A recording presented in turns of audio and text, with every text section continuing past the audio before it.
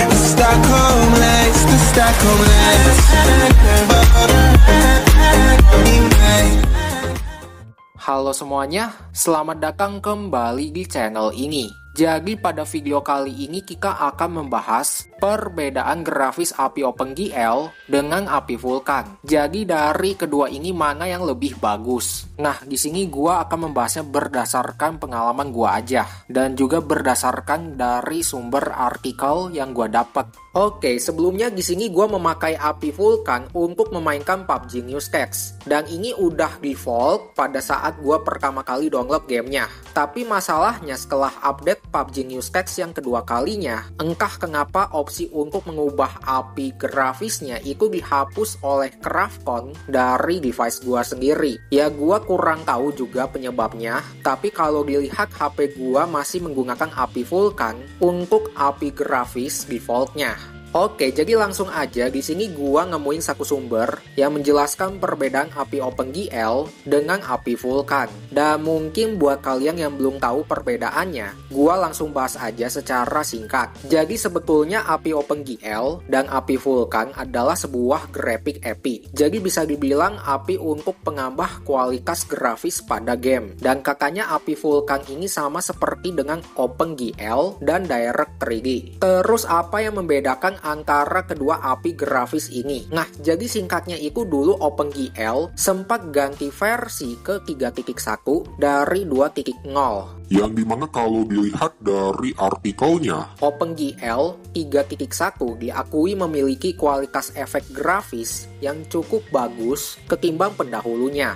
Cuman resikonya adalah untuk OpenGL 3.1 yang sekarang, dia untuk segi performanya jauh lebih berat ketimbang OpenGL yang sebelumnya. Dan terkadang sebuah game sampai tidak bisa dimainkan alias nge-lag atau ngehang. Mungkin karena grafisnya yang makin tambah berat karena menggunakan api OpenGL.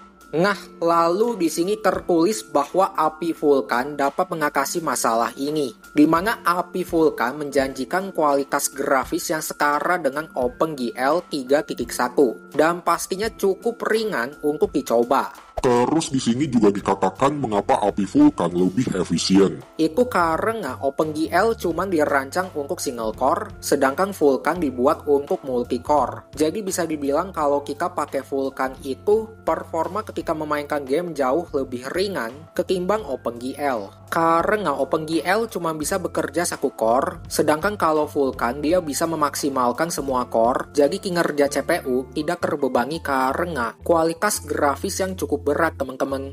Lalu di sini ada keunggulan lain dari API Vulkan, yaitu pertama bisa mempercepat performa pada grafis tinggi, terus baterai awet, terus sini ada benchmark antara OpenGL dan Vulkan. Dan kalau dilihat Vulkan jauh lebih unggul untuk segi performa. Dan kelemahannya paling kalau Vulkan dia masih dalam tahap development, terus masih terbilang baru. Jadi belum semua device itu mendukung menggunakan API ini. Jadi inilah mungkin penyebab game PUBG New Sketch kalian kadang suka FC, nge-crash, layar hijau, kadang berubah jadi pink kayak gua ini. Tapi kalau gua nggak terlalu sering juga, meskipun sekarang memakai api vulkan untuk defaultnya. Ya jadi semua hal itu terjadi karena device kalian belum mendukung untuk api yang satu ini. Oke, kita balik lagi ke gamenya dan di sini seperti yang gua bilang di awal, gua sekarang memakai api vulkan. Lalu yang harus kalian tahu adalah bahwa Craftcon itu menggunakan api vulkan untuk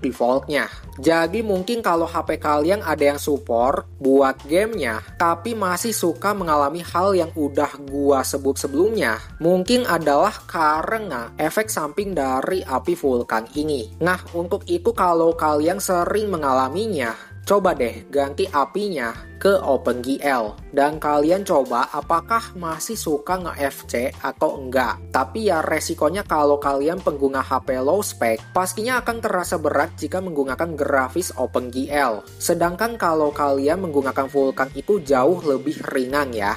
Di sini gue udah setting juga grafisnya rata kanan semua dan dia sama sekali nggak nge-lag meskipun HP gue ini ya terbilang kentang. Karena memang Vulkan ini dirancang agar bisa memaksimalkan performa pada HP low kalian. Terus bang, HP gua nggak ada settingan API grafis. Gimana cara bedainnya antara kedua API ini? Seperti yang gua bilang bahwa PUBG Newscast ini menggunakan API Vulkan untuk settingan awal atau defaultnya. Ya kalau untuk Vulkan, ciri khasnya meskipun grafis high-nya nggak sebagus OpenGL, tapi untuk segi performa dia lumayan ringan lah. Sedangkan kalau OpenGL itu dia memberikan kualitas grafis yang cukup oke, okay, tapi untuk segi performa dia sepertinya akan jauh lebih berat ketimbang Vulkan. Ya bakal terasa lag dan berat jika kalian memaksakan grafis rakakangan dengan OpenGL pada HP yang CPU-nya agak rendah. Coba deh kalau kalian ada settingan API OpenGL pada HP kentang kalian, kalian coba pakai dan bandingin sama API Vulkan. Nah, lalu bagusannya mana bang? Kalau kalian mentingin kualitas grafis bagus dan device kalian kuat untuk menggunakan grafis tinggi ya silahkan aja coba OpenGL. Tapi kalau kalian nggak mikirin soal grafis dan HP kalian kentang main game berat aja susah, ya udah coba aja ke API Vulkan. Oke, kalian bisa komen pembahasan mengenai video kali ini. Dan jangan lupa kasih like kalau kalian suka dengan video kali ini. Dan kita ketemu lagi di video selanjutnya.